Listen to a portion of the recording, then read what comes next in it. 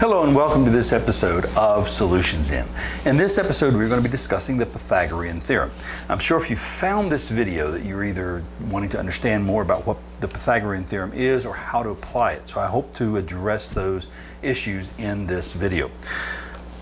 So the first thing we got to understand is what the Pythagorean theorem is. So the Pythagorean theorem is the important relationship between the lengths of the sides of a right triangle. So over 2,000 years ago, the Greeks discovered this important relationship. So it's a, a long-tested theorem. But how do we apply it? What does it look like? So the theorem actually is a simplified version of the law of cosines.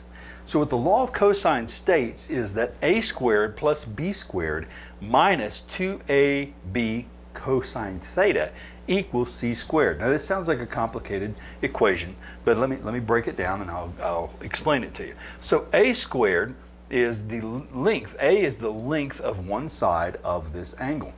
b is the length of the other side of this angle. So you square the lengths of those. You subtract the 2AB, which is the angle that's created here. So 2AB.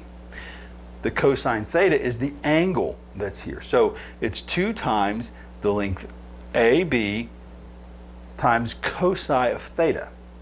So this is subtracted from a squared minus b squared to give you c squared in a triangle that is not a 90 degree angle. So that gives you, in essence, allows you to solve for this distance. You can use this in coordinate covalent applications, a bunch of different applications you can use the law of cosine for. But when your angle is 90 degrees, when this is 90, then cosine is zero. Cosine being zero actually cancels this out. It makes this all zero because this is all multiplication. It simplifies it to the Pythagorean theorem, which is a squared plus b squared equals c squared. So this is the application we're looking at, the simplified version or a special case of the law of cosine, which is called the Pythagorean theorem. The first thing we've got to understand is what are these letters? What do they mean? When we're looking at the, the Pythagorean theorem, the first thing we've got to understand is there is a special side to this triangle. We have the 90 degree angle, which we know because it's a 90 degree angle. It, it creates a square. The adjacent side to that 90 degree angle is what they call the hypotenuse.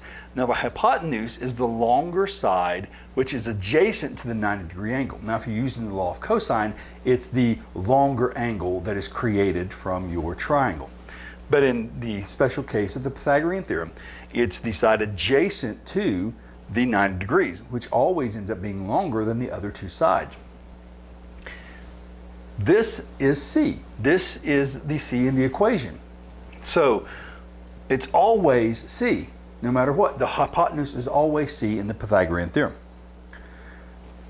So how do we how do we use this? We, we know what the sides are now. We understand that A, is, A and B are the shorter of the three sides. C is the hypotenuse. A and B, when they intersect, make the 90 degree angle. So let's apply this and let's use it. Let's see how we can use this to solve for something that we don't know. So we have an airplane. We're going to get into this airplane. We're going to fly due east. We're going to fly due east for 400 kilometers. When we get to our destination in the east, we are then going to turn at a 90 degree angle and we're going to head due north. This due north direction, we are unsure of how far we've traveled. We just headed due north. Um, now, once we reach that destination, we're going to turn around and we want to go back to where we came from. We're going to go back to our point of origin. So we are actually going to head southwest. And we're going to travel southwest for 500 kilometers. Now this 500 kilometer distance then is going to be our hypotenuse because we know when we landed in the east we turned due north and went north. So an easterly direction then turning north creates a 90 degree angle. So we know where our 90 degree angle is and we know where our hypotenuse is. So how do we solve for this? How do we solve for B? We solve for B by putting in the information that we know. So we know our hypotenuse C is 500. We know A is 400. We know this eastern location is our 90 degree angle and B is our unknown.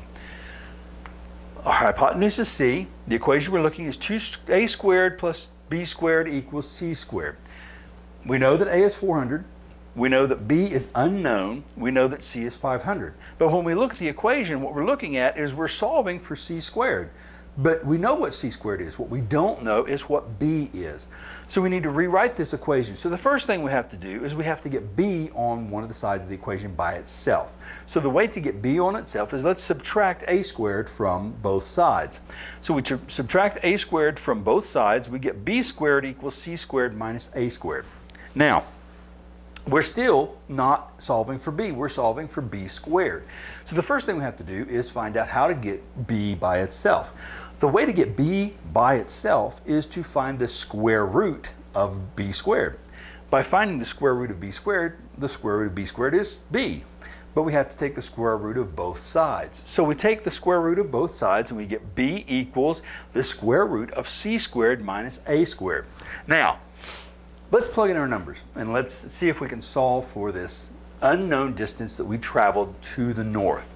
So b equals the square root uh, of c squared minus a squared. We know c squared is 500, so 500 squared minus a, which is 400 squared. So let's calculate these. So 500 squared is 2.5 times 10 to the fifth. 400 squared is 1.6 times 10 to the fifth. So let's subtract our 500 squared from our 400 squared. So 2.15 times 10 to the fifth minus 1.6 times 10 to the fifth gives us 9.0 times 10 to the fourth. We still don't know b. That is actually our b squared. So we have to find the square root of 9.0 times 10 to the fourth. The square root of 9.0 times 10 to the fourth calculates out to be 300. So our distance that we traveled due north is 300 kilometers. So this is how you apply the Pythagorean theorem in a 90 degree angle. Now if you wanted to get more complex and look at other triangles that are not 90, then you would have to apply the law of cosines. But for this event, for this episode, we are just addressing how to apply the Pythagorean theorem, how to understand how to determine what the, the hypotenuse is and how to rewrite this equation to actually use it to solve for the sides that are not the hypotenuse. And I hope this has been helpful. And please, I want to thank you for watching this episode and check out the other wide selection of training materials and enjoy your stay at Solutions Inn.